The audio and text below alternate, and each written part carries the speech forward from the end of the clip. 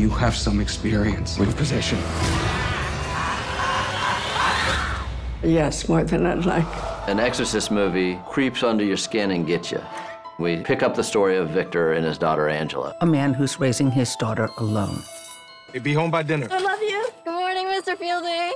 Angela and Catherine have been friends. They're both at that age where they're just finding themselves. What are you and Catherine doing out there in those woods? We were just walking and walking. Their families, in a sense, are opposites of each other. Victor's put church and faith behind him. The other parents have faith, they have community.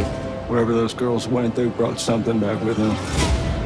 The film is dealing with the vulnerability of parenthood with a child that's dealing with possession.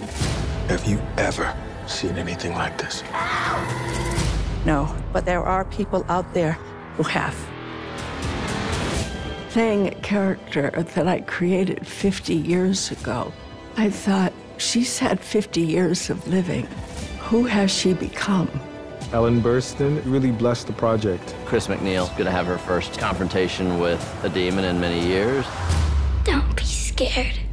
We've met before. Mother. It's a terrifying thought.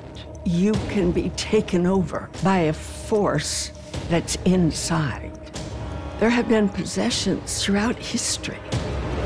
It's not just in one location or one religion or one culture. It's universal. One girl lives, one girl dies. God played